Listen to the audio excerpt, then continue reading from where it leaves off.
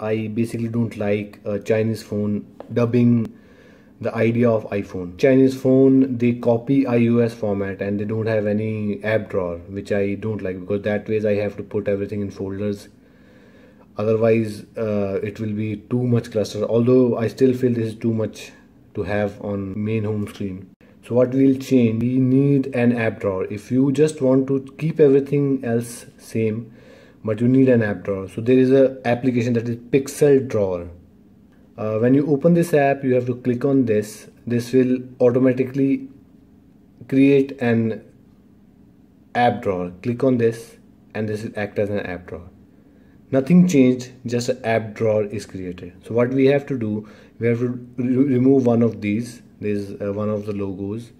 And we have to draw this app drawer here the thing is basically we change this but since this is a LeEco device this does not allow us to change this particular button which is live button or LeEco button. So this is the app drawer that we can use you can use anyone can use for redmi phones LeEco phones or coolpad phones 360 ui or huawei phones. So this is something that we can do. This is simple app pixel drawer small app.